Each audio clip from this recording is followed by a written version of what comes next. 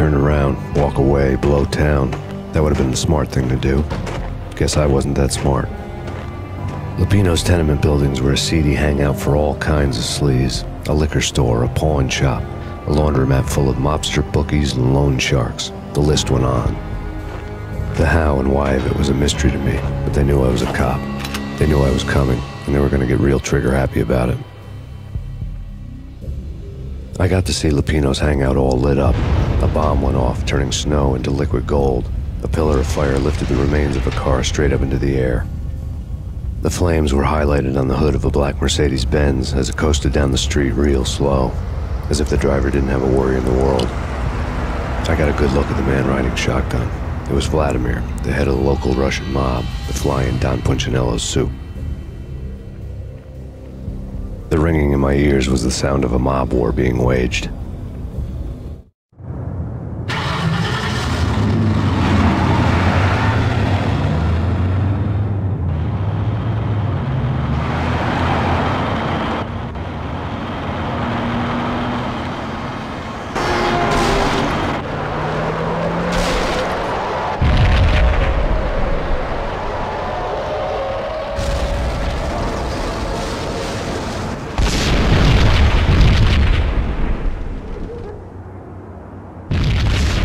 Another bomb exploded inside the closest slum building. It was a lucky break. The goons inside were spooked, but luck always came with a price tag. More bombs could still be ticking inside, and the cops would already be on their way. Jack Lupino's suite was on the top floor. At least it used to be, before the explosive makeover.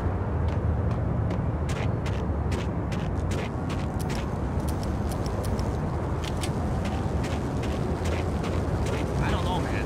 I, I don't know about this. Quit worrying, eh? Think worrying, as Christmas. The Russians are with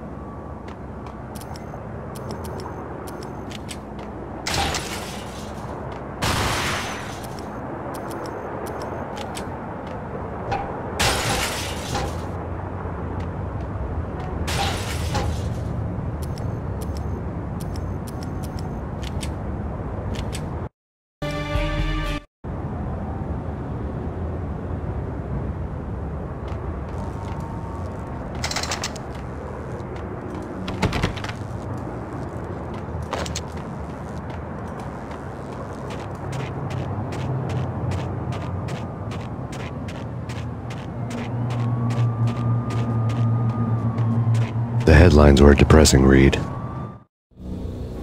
The headlines were screaming bloody murder. The storm was a screaming duet with the approaching prowl car sirens.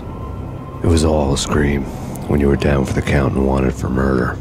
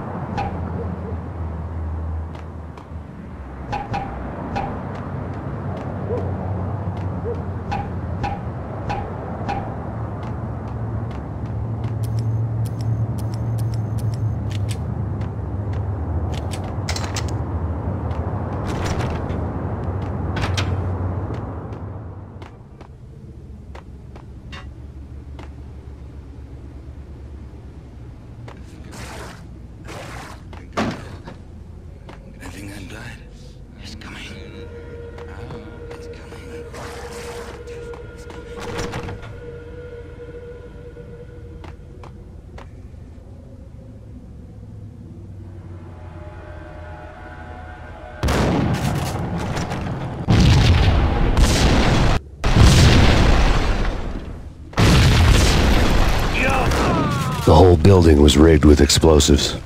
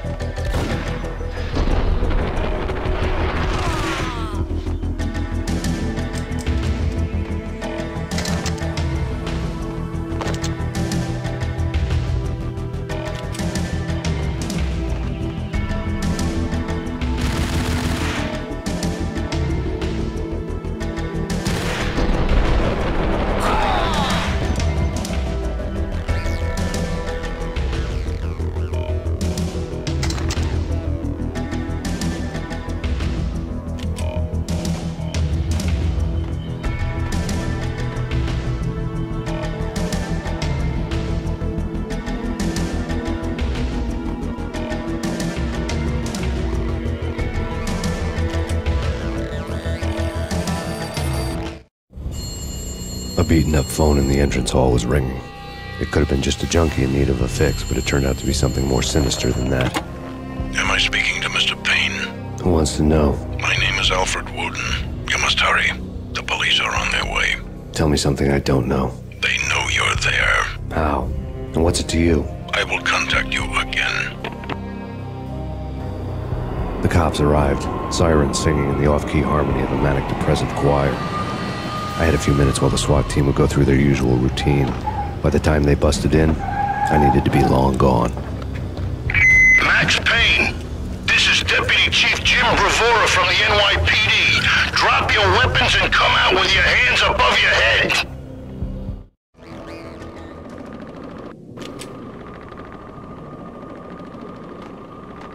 Did you hear something? Yeah, take it easy.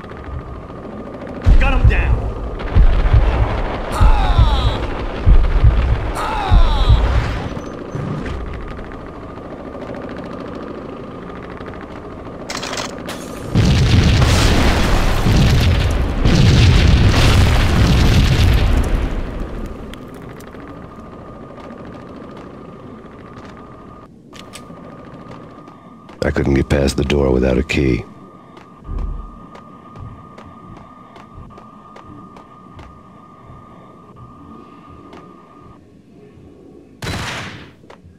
Someone had left a letter on the counter.